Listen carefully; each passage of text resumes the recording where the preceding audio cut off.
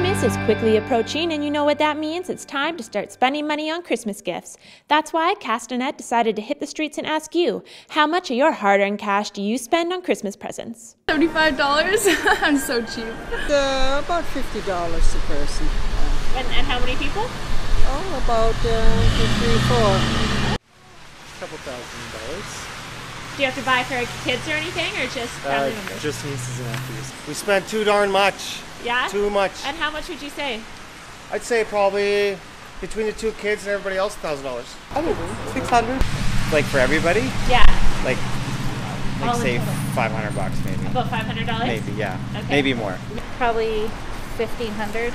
And who are you buying for? Um, my kids, like parents, immediate family, kind of. We're not giving Christmas gifts this year. We're donating to various charities in the name of our son, Sean McPherson, who passed away in March. Yes. Oh God. Uh, probably around the $300 mark. And how many people do you have to shop for? Five. I guess it's time to start swiping those credit cards, or maybe it's a good year for some DIY Christmas gifts. Your bank account might thank you. For Castanet News, I'm Chantel Deacon in Penticton. Got the edge? Go to OkanaganEdge.net and click the link in the top right. Fill out the form and show the Okanagan you've got the edge.